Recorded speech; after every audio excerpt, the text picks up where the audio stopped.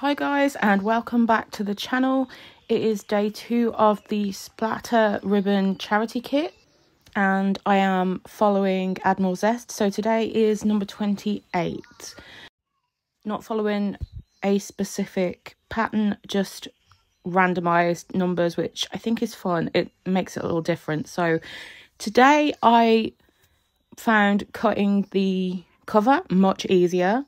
I don't know if that's because it was a bottom piece or whether I just got the knack of it and wasn't so nervous. So this kit comes from Diamond Art Studio.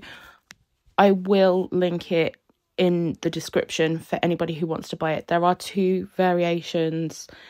There is a cancer research one, which is this one, and there is an Alzheimer's research one. I did say that I didn't know the charity in a previous video, so I'm correcting myself now. I checked and it is Alzheimer's research. So some of the proceeds are going to each of the charities. So I think it's a lovely idea and it is such a beautiful artwork. Splatterworks always do really beautiful artwork. And it's been on my list to buy one of their pieces for a while since I discovered Diamond Art Studio.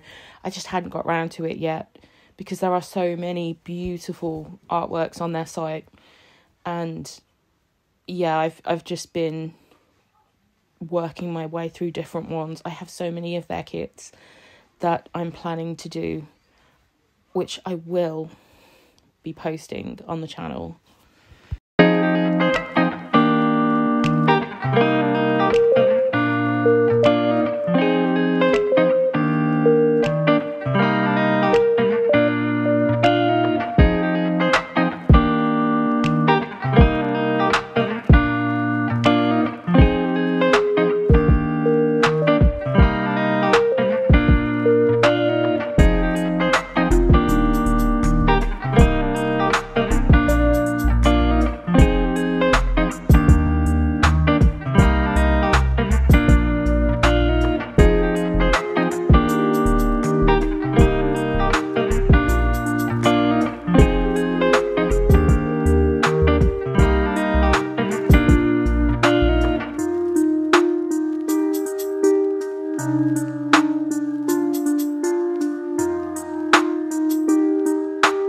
Música